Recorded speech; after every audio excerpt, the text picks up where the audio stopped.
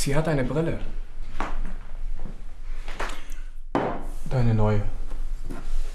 Die Kollegen haben gesagt, du wolltest eine neue Tasse.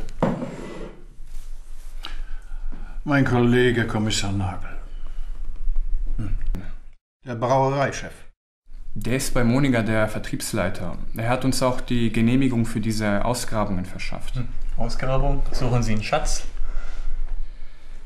Ich bin Archäologe. Unter der Brauerei sind vor kurzem sehr alte Gewölbe entdeckt worden. Aus der Fürstenzeit. Maria hatte dafür einen Forschungsauftrag erhalten. Ihre Kollegin. Sie ist doch meine Verlobte. Und Ihre Verlobte ist seit zwei Tagen verschwunden. Könnte es vielleicht sein, dass sie verreist ist? Also, das ist halt absolut unüblich.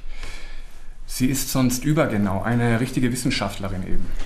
Haben Sie denn eine Vermutung, wo sie stecken könnte? Allerdings, dieser Peter Merkel, der Vertriebsleiter, der, naja, der ist ihr nachgestiegen. Ich glaube auch, deswegen haben wir diese Genehmigung bekommen. Und auch das Auto. Als ich sie zum letzten Mal gesehen habe, ist sie damit weggefahren. Was war das denn für ein Auto? Ein roter Kombi, ein Ford.